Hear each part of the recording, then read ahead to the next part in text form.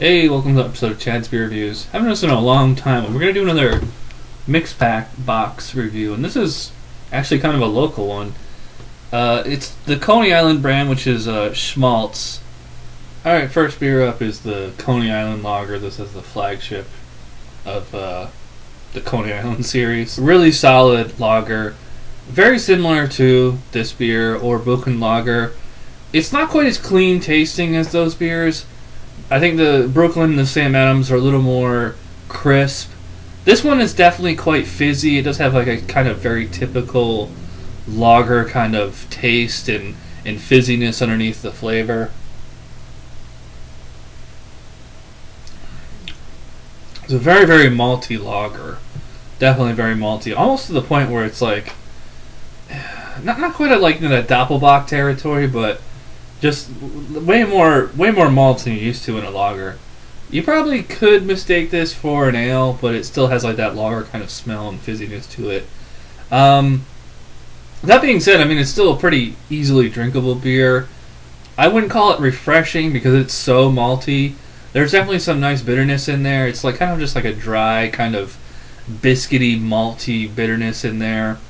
Has a little bit of like a I don't know, like kind of a wet wheat kind of aftertaste. But um, yes, it tastes good. There's a nice sweetness in there too. A little bit of like uh, caramel stuff like that. Kind of very similar like an Oktoberfest or well, uh, yeah, lager.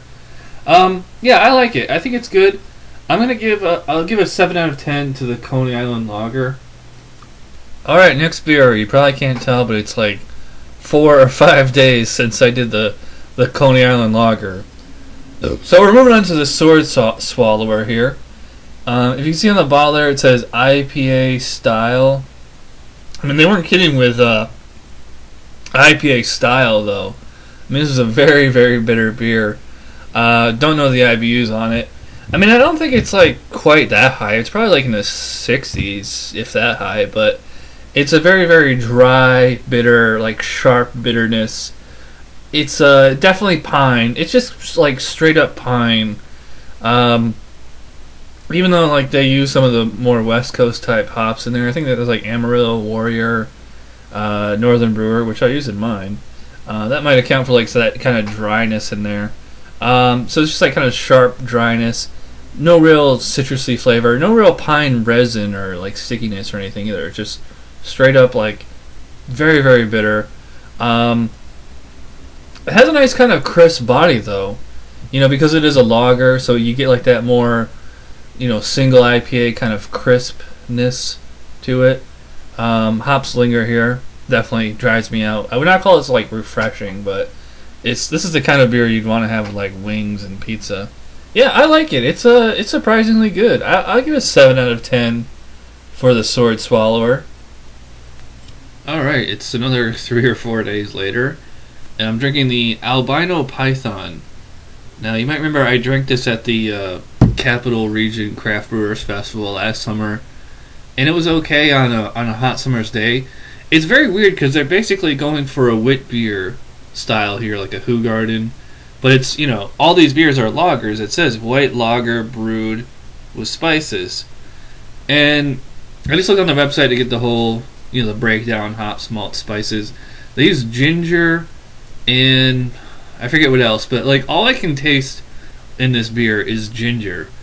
And if you know me, you know I hate ginger. It's just all ginger and nothing else. I can't taste anything else. No citrus, no like, you know, allspice or clove or no banana or anything, you know. I like I like some banana and, and other kind of citrusy flavors in a wit beer, but this is just basically I don't know, it's kind of like a strong lager with a whole bunch of ginger in it. Um, and it's in fact like the first few swigs were like so spicy, it almost tasted like curry. Not even so much ginger, but I don't know. I mean, it's okay. I mean, I would not call this a mild, bland beer. Man, it's got plenty of flavor. It's just that it's gingery. Um, I don't know if uh, if they could dial down the ginger and put something else in there, I would probably like this. But you know, as this stands, it's like I just don't really. I mean, it's, it's fine, it's drinkable, but this is one of those beers where it's like you know, I can tell that it's made well, but I just I can't honestly give this a thumbs up. I have to give this a thumbs down. I'm gonna give a four out of ten to the albino python. I mean, it's it's it's okay at best. It's just too much ginger. Dial back the ginger and it'd be a good beer. So, one more to go. Cheers. And we're on to the last beer. This is the Coney Island Mermaid Pilsner. A little bit of lemon in there. Lemon peel. You like a nice kind of more rich bready type maltiness on this one. Probably from the rye and you know the fact that you went nuts with the malt bill, I guess. You know they use all these different hops in here, but it's not a particularly bitter beer. Um, kind of slightly dry, you know, a little bit of like a bite on the end, but you know otherwise not really bitter. It's it's a very clean for ABV, uh, five point five. That's that's actually a little high.